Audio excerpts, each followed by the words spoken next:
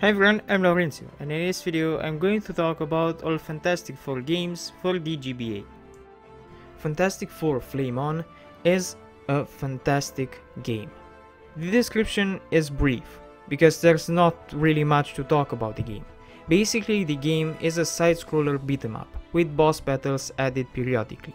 You know the drill with these games, but as simple as the game is, I had a lot of fun in it.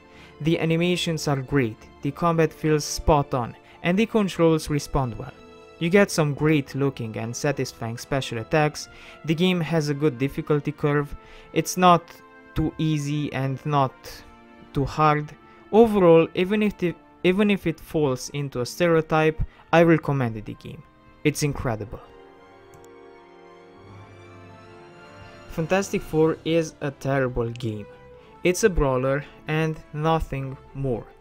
And the mechanics are horrible. You don't get that many moves and the combat is unsatisfying. Also it's nice that you play with all 4 characters at once on the screen. But they make the game in such a fashion that you would wish the opposite.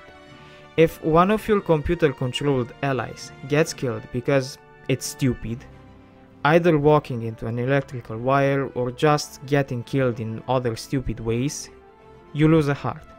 And you know how dumb the AI can be in this type of games. Overall, it's a boring, repetitive game with occasional frustrating parts.